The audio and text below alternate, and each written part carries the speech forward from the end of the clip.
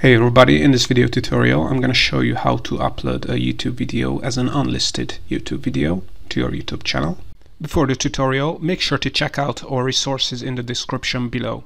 Free YouTube ebooks, customizable YouTube checklists, exclusive software deals, free trial offers for YouTubers, and many more resources that help you grow your YouTube channel, build a business on it, and make more money from it. Now, back to the tutorial.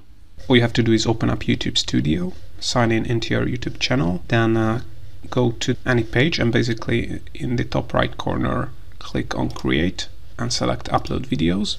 Then click on select files upload upload any kind of video. Then add the title the description the thumbnail all that stuff that is uh, necessary then if you want to upload the video as a private video, then go to the visibility tab and instead of choosing public, which is the most common option when you upload the video to, YouTube, you have the option to select unlisted here. And in this case, anyone with the video link can watch your video, but uh, people cannot find it on YouTube search or in the YouTube uh, homepage, for, for instance. So in this case, once you have selected unlisted, all you have to do is click on save here and as you can see this video has been published but this is a unlisted video. So as we can see under the visibility tab or the visibility column it will say unlisted. So this video won't appear on your channel page. Alright, if something is still not clear to you, check out our more detailed instructional blog post on roihacks.com.